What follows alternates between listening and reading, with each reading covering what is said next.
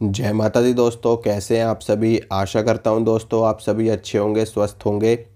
मकर संक्रांति के दिन ये चीज़ ज़रूर खाई जाती है और इस चीज़ को खाने के पीछे एक विशेष रीज़न है। वो मैं आपको बताता हूँ।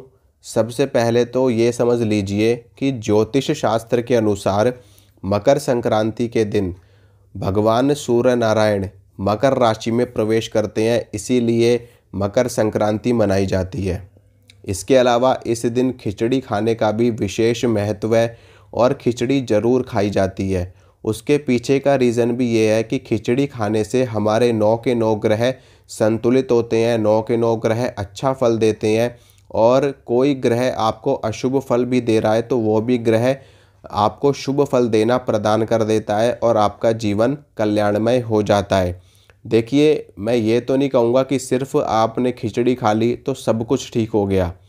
देखिए, कोई भी चीज़ हो, आप चाहे किसी भी मंत्र का जप कर रहे हो, कोई पूजा कर रहे हो, कोई उपाय कर रहे हो, कोई टोटका कर रहे हो, कोई टोना कर रहे हो, हर चीज़ अपने स्थान पर सही होती है।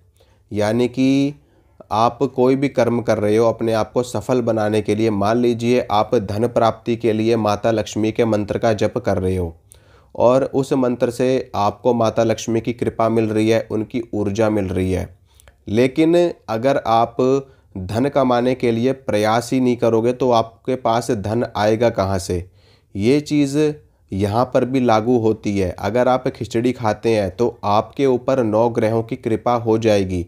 लेकिन ऐसा तो नहीं होगा कि नौ ग्रह खुद आपके पास चल कर के आएँगे और आपको धन संपदा प्रदान कर देंगे, ऐश्वर्य वैभव प्रदान कर देंगे।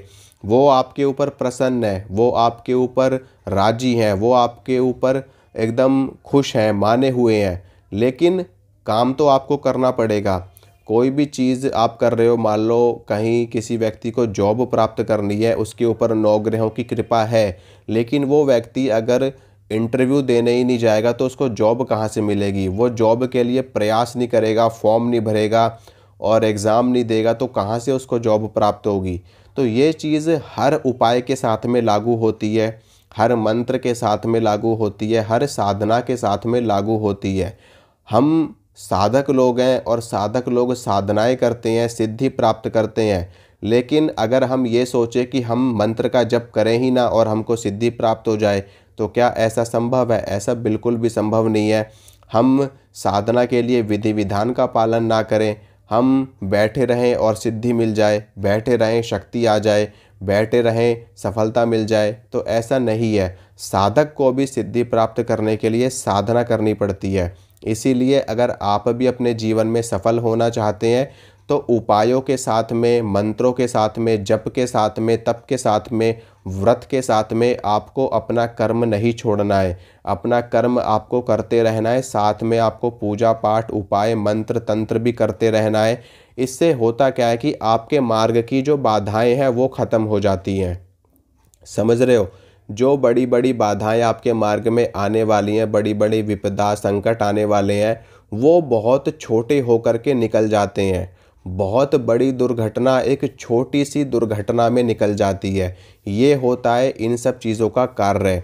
और जो बाधा आ रही है छोटी मोटी बाधाएँ तो ख़त्म ही हो जाती हैं। और जो बड़ी बाधाएँ आने भी वाली हैं, वो भी बहुत हल्की होकर के, बहुत छोटी होकर के निकल जाती है। इसीलिए पूजा पाठ जप तप साधना करी जाती है। इसीलिए कुल देवताओं को मनाया जाता है, इसीलिए पितरों को मनाया जाता है, इसीलिए इष्ट देवता को पूजा जाता है। ताकि आपके मार्ग में कम से कम संकट आए, कम से कम बाधा आए और आपका जीवन सुखमय हो जाए। तो खिचड़ी खाने का विशेष महत्व है, प्रातःकाल में स्नान करके आप सभी लोग अपने घर में एकदम सफ़ाई के साथ में, शुद्धता के साथ में खिचड़ी बनाइए और खिचड़ी सभी लोग खाइए, परिवार के लोग। अगर आप दान कर सकते हैं खिचड़ी तो खिचड़ी दान करिए, लोगों में बांटिए प्रसाद खिचड़ी का, भगवान को भोग लगा करके सब में बांटिए। और रॉ मटेरियल भी आप दे सकते हैं, जैसे कि चावल आप दान कर सकते हैं, उड़द की दाल आप दान कर सकते हैं, नमक, गुड़, चीनी, जो भी आपसे बन पड़े वो आप दान कर सकते हैं ब्राह्मणों को, पंडितों को, गरीबों को, असहाय लोगों को। तो उससे भी आपको बहुत लाभ मिलता है, आपके ऊपर कृपा होती है, भगवान आपके ऊपर भला करते हैं।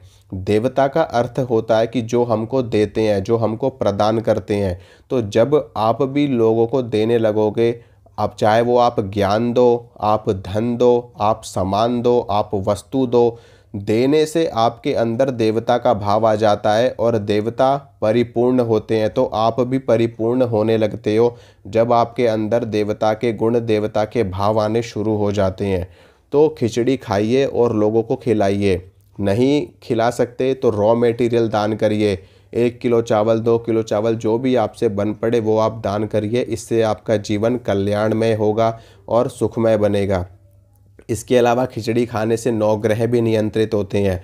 उड़द की दाल शनि का कारक होती है तो उड़द की दाल खाने से शनि ग्रह संतुलित होते हैं। चावल को चंद्रमा से जोड़ा जाता है।